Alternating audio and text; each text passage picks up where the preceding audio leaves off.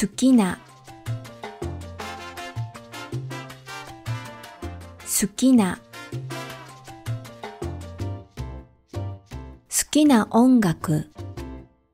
好きな本。好きな映画。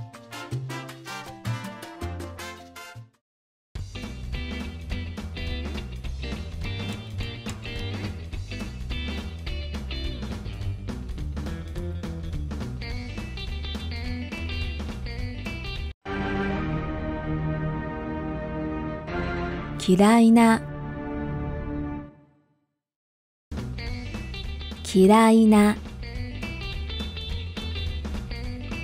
嫌いな虫。嫌いなもの。嫌いな食べ物。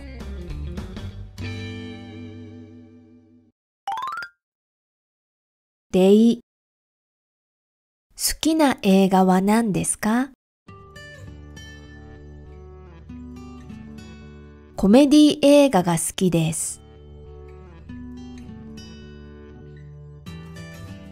ホラー映画は好きじゃありません。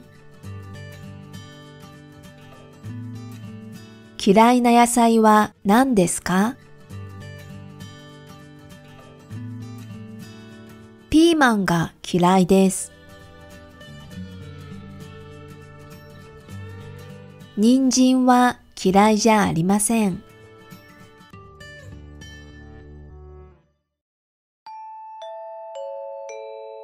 Please note that 好きな and 嫌いな are not adjectives.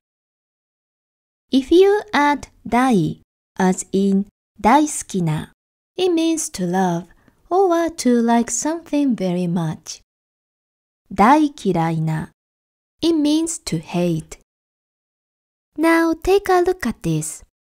好きな plus a noun. 好きな映画 It means favorite movie or a movie I like. Now let's make a question form. 好きな映画は何ですか好きな映画は何ですか ?The answer could be アクション映画です。アクション映画です。or it could be SF 映画が好きです。SF 映画が好きです。The particle は is used in the question, but the particle が is used in the answer. The particle が describes new information or emphasizing things or saying what you see or feel. Next, let's use 好き and 嫌い。映画は好きですか映画は好きですか ?If the answer is yes, はい、好きです。or 大好きです。and if not, いいえ、嫌いです。or 大嫌いです。You can also just say はい、or いいえ。If you are not sure, you can say like this. 好きでも嫌いでもないです。好きでも嫌いでもないです。You can use this expression for other things, such as food or school subject or seasons.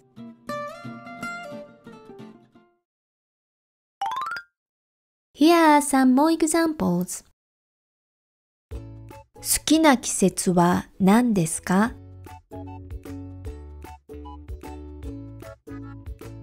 テレビゲームが大好きです。